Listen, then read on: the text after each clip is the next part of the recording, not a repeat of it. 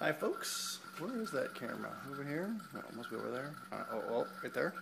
Uh, since my phone doesn't work as a phone, I thought I'd at least try it as a, you know, high def video camera. Plus I think it's kind of amusing that I can spin around like this.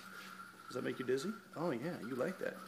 So uh, I'm going to spin it around here and show you guys my first hydroponic system. Alright, there is yield bucket of water, the reservoir. You can see the tubes coming in and out. Um, the clear tubes where it kind of comes out, and the garden tubes where it's coming back in. The uh, pump is probably the most expensive part of the system. It was like 30 bucks, I want to say. Um, we could talk about that annoying sound if you'd like, because that's pretty fun to talk about. Um, you would think that, uh, you know, that does sound preferable. Nice and quiet, but I'll keep talking here and you'll see that bad things are going to happen. So let me back up here and see if I can show you the whole system there. Lights, plants, little PVC action. So what I did was I bought uh, 3 inch PVC. Oh, there, there goes the crazy noise. I don't know if you guys can see anything there. Not really. So it's creating a vacuum and sucking water and air in at once and making this horrible noise. So I added this crazy thing to try and break the vacuum. Seems to mostly work, but I still have that annoying sound. I don't know why I have this problem at all. Maybe I'll deal with it someday. So we bought this 3 inch PVC. It was like 8 bucks for 10 feet or something like that. Chopped it in half. Made little uh, U-turn pieces down here. And uh, cut these, the holes are, I don't know, a little over 2 inches or something like that. And they hold these little 3 inch net pots here. I've never seen a net pot. They're just a little, well, it's hard to see. The uh, dynamic range here is a little more than the camera can handle, but this uh, pot would just, you know, lets lots of water run through. And you just push them down, in my case, into my water. Um, there's a lot of different types of hydroponic systems, but mine pretty much just stays full of water and just keeps flowing all the time. I don't know if it'll work, but you know, whatever.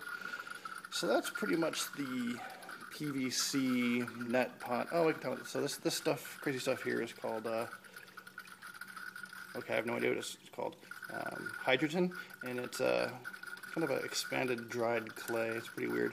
And this stuff is rock wool, and I'm trying to root my plants directly in this rock wool, and hoping that it grows down, um, and the roots will hang in the water. And once the roots hang in the water, there'll be nutrients in the water, and voila, plant going crazy. Ignore those guys in the back. Those are those use dirt, which is totally lame. Um, other than, I do like that these are apple trees that we planted from an organic apple we were eating. So um, the kids were amused that we could grow those guys. So we'll probably try to keep those guys growing for a while. So let's talk about the light. Um, you know, pretty ghetto, obviously, but it was like I think 140 bucks for a light at the hydroponic store that would put out 20,000 lumens.